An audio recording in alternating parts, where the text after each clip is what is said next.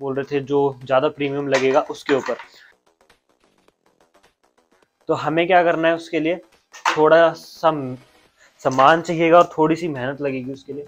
हमें एक कोई भी एक स्ट्रिप ले लेनी है प्लास्टिक मटेरियल की। आ, मैं आपको एग्जांपल दूँ।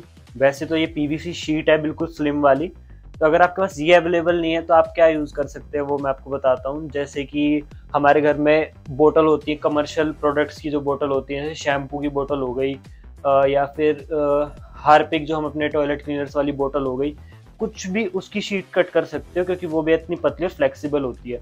बट मेक श्योर कि जिस भी बोतल में से आप कटआउट निकाल रहे हो वो बिल्कुल सीधी हो राउंड ना हो और एक परफेक्ट स्ट्रेट शेप में हो। जैसे रिट्स का जो पैटर्न है कुछ इस तरह का डीप है। तो मैंने बिल्कुल एक स्ट्रिप काटी है जो इसके अंदर ऐसे फिक्स होती है।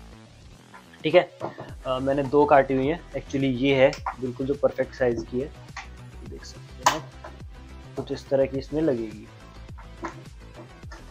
ये इसके अंदर बिल्कुल प्रॉपरली फिट हो गई है। तो अब हमें क्या करना है? हमें दूसरी चीज़ क्या रिक्वायर्ड रहेगी? हमें कुछ इस तरह की एलईडीज रिक्वायर्ड होंगी। अभी मैं आपको दिखाता हूँ। कुछ इस तरह की एलईडीज चाहिएँगी। इनकी अगर मैं एम की बात करूँ तो आठ एम की एलईडीज मैं यूज़ कर रहा हूँ। तो आठ एम की आपको कम से कम जितनी एलईडी आपको रिक्वायर्ड होंगी, वो आप अपनी साइज़ के अकॉर्डिंग देख सकते हैं। जैसे मेरा ये साइज़ है, मैं इसमें दो तरह से एलईडीज लगा सकता हूँ। एक इस तरीके से one two three four five six. तो छः एलईडीज में मेरा काम हो जाएगा। अगर मैं चाहूँ तो सात लगा सकता हूँ। बट uh, मैं इसमें सात की चौदह भी लगा सकता हूँ। कुछ एक एक स्ट्रिप यहाँ पे बन जाएगी पूरी ऐसे और एक यहाँ बन जाएगी। एक यहाँ पे बन जाएगी ऐसे। तो वो आपके ऊपर है। आपकी चॉइस है कि आपको कैसी डिस्प्ले लगानी है। अपनी लास्ट में क्या प्रोफ़ाइल निकाल के लानी है लाइट की। तो अब चलते हैं भाई। मैं इन एल का यूज़ करूँगा। जो भी मेरी करंट लाइट है उसमें मैंने खुद ने मॉड्यूल का यूज़ किया, जो भी मॉड्यूल आप लोगों के साथ शेयर किया। तो अब सेकंड स्टेप की तरफ़ बढ़ते हैं। तो गाइज़ अब हमें सबसे पहले इस पर मार्किंग करनी पड़ेगी। मार्किंग इसलिए करनी है कि हमें कितने डिस्टेंस पे एल को लगाना अगर हम अनईक्वल तरीके से लगा देंगे कि एक एल ई यहाँ लगा दी हमने, एक एल ई यहाँ लगा दी तो वो बहुत गंदा लगेगा। एक बिल्कुल सिमेट्रिक वे में नहीं लगेगा जब तक कुछ भी तो वो बहुत गंदा लगता है। तो उसके लिए अभी हम मास्किंग टेप ले रहे हैं, जिससे हम मास्क कर सके। आपके पास मास्किंग टेप नहीं है तो डोंट वरी आप कोई भी वाइट टेप यूज़ कर सकते हैं, या फिर एक पेपर पेस्ट कर सकते हैं इसके ऊपर, जिससे आप सिर्फ़ मार्क लगा सकें। और कोई रीज़न नहीं है मास्किंग टेप लगाने का। मास्किंग टेप लगाने का रीज़न यही है कि इसके ऊपर मैं पेंसिल से डिस्टेंस के मार्क्स लगा लूँगा कि भाई इतनी दूर दूर पे मुझे होल करने हैं। तो अभी देखो, मैं इसके ऊपर ये लगाता हूँ। मैंने जस्ट सेंटर में इसको लगा लिया। थोड़ी सी टेढ़ी हो गई। इसको भी मैंने ऐसे इस पर लगा दिया। ठीक है, इसको फिर एक्स्ट्रा वाली को हम कट कर देते हैं। ठीक है भाई? तो अब हमें क्या करना है? एक पेंसिल स्केल लेना है। तो सबसे पहले हम इसको सेंटीमीटर में मेज़र करेंगे। कितने सेंटीमीटर है भाई, पंद्रह सेंटीमीटर है। तो इसको सेंटर से डिवाइड कर लेंगे। पंद्रह सेंटीमीटर का बैठता है भाई, साढ़े सात सेंटीमीटर ठीक है? साढ़े सात सेंटीमीटर को हमें कर लेना है। साढ़े सात सेंटीमीटर बैठता है अपना। इधर। ठीक है भाई? इसमें एक हम लाइन खींचेंगे, ऐसे। अब हमें इसको बीच से भी डिवाइड कर लेना है, बिल्कुल इक्वल तो जो इसका सेंटर पॉइंट है, इसको कुछ इस तरीके से हम डिवाइड कर लेंगे। तो गाइज़ डिवाइड करने के बाद कुछ इस तरह की लाइनें आ जाएगी, एक लाइन आ जाएगी। मैं अभी कुछ प्रैक्टिस के लिए कुछ करके देख रहा था। तो हमें क्या करना है कि इसको ऐसे रखने के बाद अब एल का मार्किंग करनी कि एल ई कहाँ पर इंस्टॉल होंगी। तो आपको जो आपने सेंटर डिवाइड किया है उसको साढ़े सात पे रखना है। जो भी आपकी मेज़रमेंट आप रखेंगे, ठीक है? फिर आप एक सेंटीमीटर को कंसीडर कर लीजिए कि भाई मैं हर डेढ़ सेंटीमीटर बाद एक एलईडी इंस्टॉल करूँगा। तो अभी मैं इसमें कंसीडर कर रहा हूँ डेढ़ का डिस्टेंस ठीक है? सबसे पहले हमारी लगेगी 1.5 पे, यहाँ पे। ठीक है? 1.5 में फिर हम वापस 1.5 प्लस करते हैं तो तीन हो जाता है, तीन पे लगेगी। फिर साढ़े चार पे लगेगी। साढ़े चार के बाद फिर हम 1.5 प्लस करते हैं तो छः हो जाएगा, छः के आसपास लगेगी एक एल ठीक है, फिर एक पॉइंट अपना आ ही गया है, साढ़े सात, छः मिनट प्लस करने के बाद। ऐसे पूरे में आपको मार्क कर लेना, मैं करता हूँ मार्क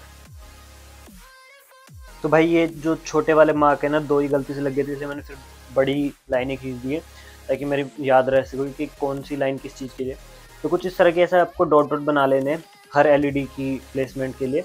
तो कुछ इस तरह की प्लेसमेंट ऊपर वाली लाइन पे होगी, नीचे वाली की मैं बाद में करूँगा। क्योंकि फ्रंट एक बार ऊपर वाली लाइन लग जाए पूरी एल की, फिर उसके बाद मैं नीचे वाली लाइन के लिए मार्किंग करूँगा। तो हमें क्या करना है, अभी हमें कंपास की या फिर कोई भी एक पैनी चीज़ की रिक्वायरमेंट होगी।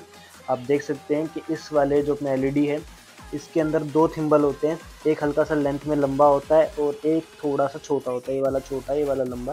बिल्कुल माइनर सा डिफरेंस होता है, मैं आपको बिल्कुल क्लोजली दिखाता हूँ। हल्का सा माइनर सा डिफरेंस है, ये वाला बड़ा है, नीचे वाला छोटा है। तो हमें इनको क्या करना है, इस शीट के अंदर। दो होल करेंगे और ये एल को ऐसे पास कर देंगे। ठीक है? इसके अंदर से ऐसे पास कर देंगे। पूरे में ऐसे एल का सेटअप लग जाएगा। तो जो होल है अभी हम यहाँ पे इसके कंपास की हेल्प से करते हैं।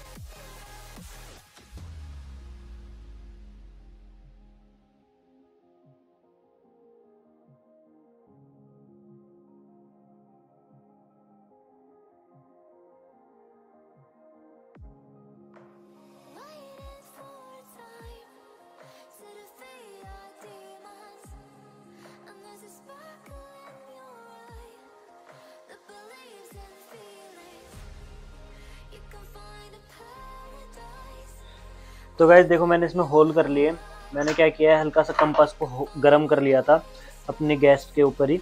तो उससे क्या है ईजिली थोड़ा सा हो जाता है। अब हमें क्या करना है कि हल्के से ना होल को बड़ा करना है, ताकि जो हमारे एल के वायर हैं, वो बिल्कुल प्यार से निकल सके। तो बस मैं क्या कर रहा हूँ, अपने स्क्रू ड्राइवर से होल्स को हल्का सा बड़ा कर रहा हूँ। देख सकते हैं आप लोग। तो ये मैंने अभी आपको दो मेथड बताए। ब्रेक लाइट बनाने के। मैं आपको एक और मेथड बताऊँगा बट वीडियो थोड़ी सी लेंदी हो रही है। वो मेथड मैं आपको अपनी अपकमिंग वीडियो में ही बताऊँगा, कि उसमें कैसे हम तीसरे मेथड से अपनी ब्रेक लाइट बना सकते हैं। वो थोड़ा सा और प्रोफेशनल लगेगा आप लोगों को। तो अभी पहले हम इस वाले मेथड को कंप्लीट कर लेते हैं। ये देख सकते हैं होल चुके हैं प्रॉपर जो होल छोटा लगे मैं बड़ा कर रहा हूँ। तो भाई कोई भी कमेंट कर सकता है डाउट है किसी को, कुछ भी है, आप कमेंट कीजिए, मैं रिप्लाई करूँगा। कमेंट करके तो देखो आप लोग।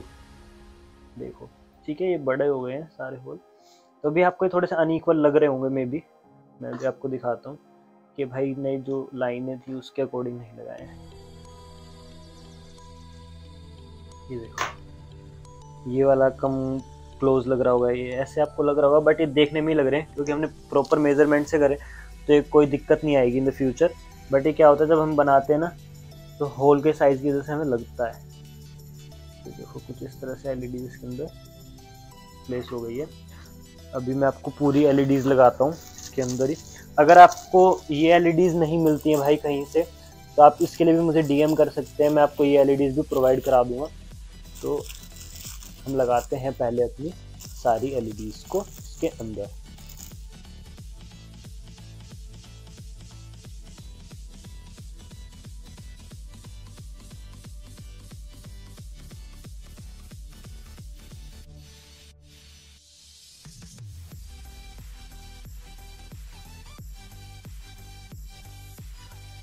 तो भाई ये देखो, कुछ इस तरह का आपका टोटल एलईडी जो सेटअप हो चुकी हैं, इस तरह की लगेंगी। अब देखो, सब में जो गैप है, एक फिंगर के आसपास का है।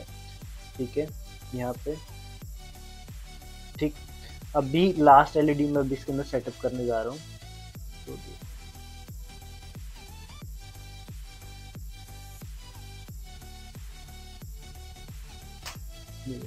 ये एक क्लिक वाली आवाज़ आ रही है ना, बिल्कुल परफेक्टली फिक्स हो चुकी है। तो इस तरह का कुछ एल का भी प्लेसमेंट हो चुका है। अगर मैं इसके अंदर इसको लगाऊँगा तो अभी वायरिंग करेंगे। ठीक है? लास्ट में हमें सब रिमूव करना है रिफ्लेक्शन भी लगाएँगे इसमें। वो सब आपको दिखाऊँगा। तो कुछ इस तरह का भी इसके नीचे सेम लगेगा। तो भी कितनी एल होगी? One two three four five six seven तो सेवन एल नीचे भी लगेंगी। तो टोटल फोर्टीन एल का सेटअप हो जाएगा। फिर उसके बाद हम इस केस को लगाएँगे इसके ऊपर। कुछ इस तरीके से। तो आप देखेंगे, जो जो एल दिख रही है, इसमें कोई वायर नहीं दिख रहा, सिर्फ़ एलईडी दिख रही है। अभी इनकी हम वायरिंग करते हैं।